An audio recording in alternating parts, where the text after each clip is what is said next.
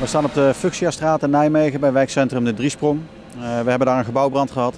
Een brand die van buitenaf naar binnen is geslagen. Uh, lichte rookschade binnen.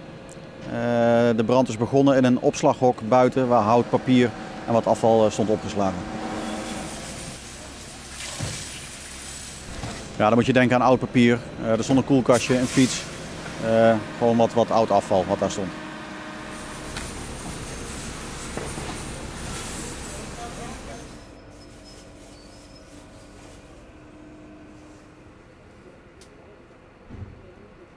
Nee, er zijn geen slachtoffers gevallen. De brandweer heeft wel één vogeltje naar buiten gehaald, maar die maakt het goed.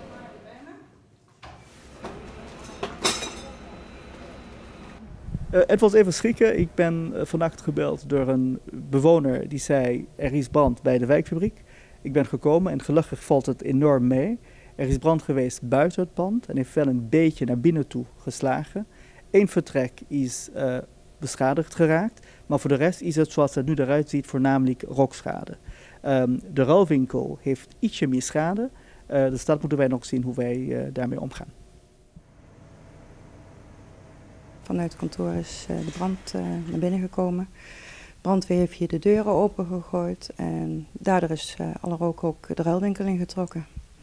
Dus nu hopen dat we morgen, ja morgen moeten we gewoon dicht om ja, de schade op te nemen en kijken wat, wat er eventueel weg moet of ja, gewassen moet worden.